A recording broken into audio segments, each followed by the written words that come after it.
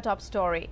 The first squadron of homegrown fighter light combat aircraft Tejas was inducted into the Indian Air Force in Bangalore today with two fighter planes joining the force.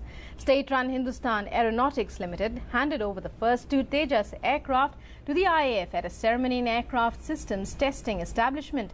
Flying Daggers 45, the first squadron of the light combat aircraft, will be based in Bangalore for the first two years before being moved to Sulur in Tamil Nadu. Tejas will feature in combat plan of the IAF next year and will be deployed in forward bases as well.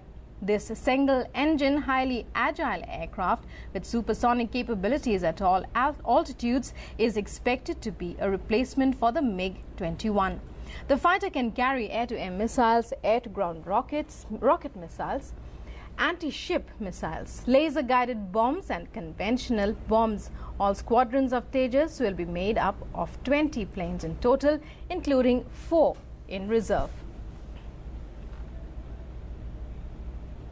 Fly-by-wire of the aircraft is excellent. Next to the fly-by-wire is the avionics. The avionics is contemporary, state-of-the-art and comparable to any modern fighter in the world today.